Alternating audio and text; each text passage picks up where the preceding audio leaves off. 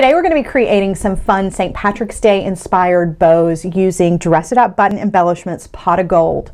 You're also going to need a pair of scissors, a needle and thread with your thread doubled and knotted. You're going to need a one and a half inch hair clip and a one and a half inch piece of 3 eighths ribbon to cover that hair clip.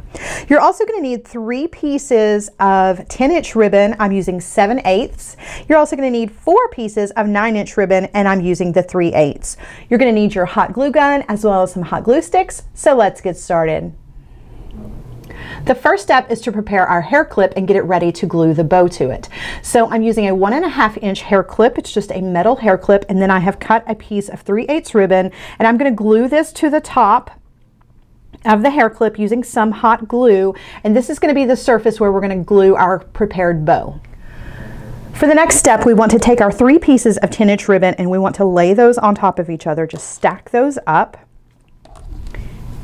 You want to take both ends and pinch them together. If you're using pattern ribbon, you want your patterns to be facing towards the inside. With your needle and thread, you want to take your needle and place it going from the inside of the loop that you have created out of your ribbons and push the needle halfway through open up your ribbons and spread them apart so that you have even spacing between each ribbon. Now with your needle in the center, you want to take one piece of ribbon at a time and fold it over and thread it onto your needle.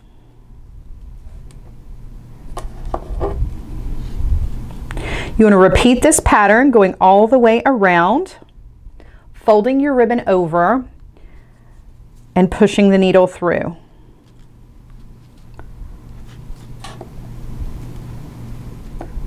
Once you have folded over all of your ends and passed them through the needle, now you can grab your needle and pull it all the way through all of the pieces of the ribbon.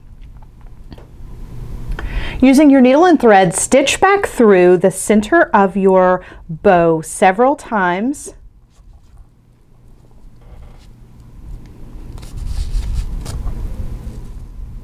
Once you have stitched through several times, you want to come to the back and trim off your thread and sit this portion of your bow to the side. Moving on to the second layer of your bow, you want to take your four pieces of nine inch ribbon and you want to stack these just like we started with the first set of ribbons. If you're using different colors, you want to alternate your colors as you are creating your ribbon stack. Again, you want to pinch your ends together, bring them together to create a loop, and take your needle and thread going from the inside of the loop, thread your needle halfway through the stack of the ribbons.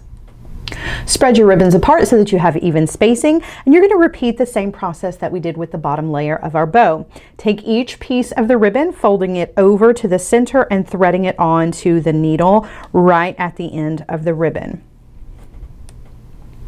Adjust the placement of all of your ribbons and then pull your needle through all of your ribbons. Stitch back and forth through the center a few times to secure the center of your bow.